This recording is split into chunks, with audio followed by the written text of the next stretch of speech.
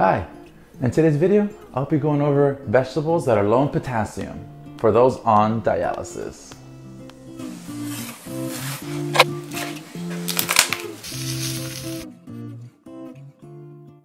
Hi, I'm Jonathan Diaz, a registered dietitian working with patients on dialysis. And if you're new to my channel, welcome.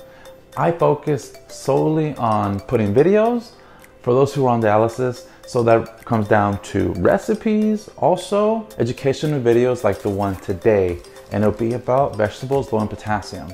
Before we go any further into the vegetables, please talk to your doctor and your dietitian every month or every week, every two weeks to know what your potassium levels are because you have to know what they are. It can be too high or too low. You got, you've got to know where you're at. If it's too low, you can have more, more vegetables that are high potassium. If your potassium is too high, you got to have less, right? So it's good to know. And the ranges are for your potassium are from 3.5 to 5.5. Remember that 3.5 to 5.5. That is the goal. Let's get. Oh, actually, forgot a few more things. There are five things that may cause potassium to go up, and there's and then many other reasons. But the five that I know, number one, high blood sugar. High blood sugar uh, will will lead to high potassium in your blood.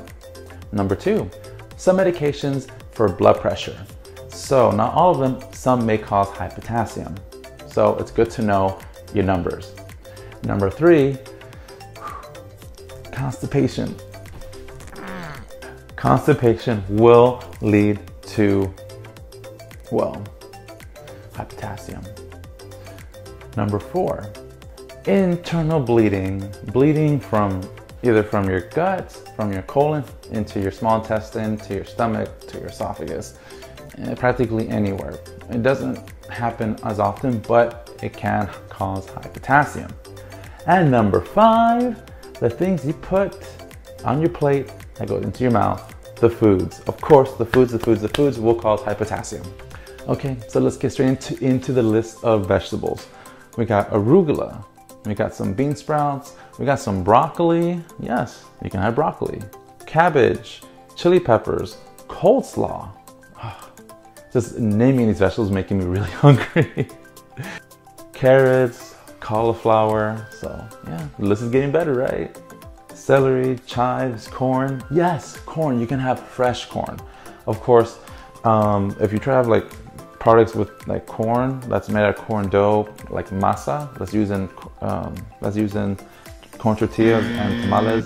Those are very concentrated and potent in phosphorus, so it's best not to have. it's best not to have those. But fresh corn, definitely, you can have those.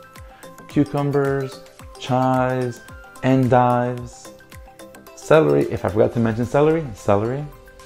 Also ginger, ginger root.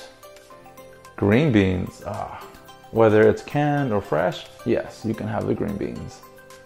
Jalapenos, jicama, lettuce, mushrooms, mustard greens, onions, parsley, peppers like green, like green, red, orange, um, red bell peppers. Those are delicious, especially make fajitas. Yeah, the bomb. Green peas. We got some radish going on in that in that in that list of ours. Got some good radish.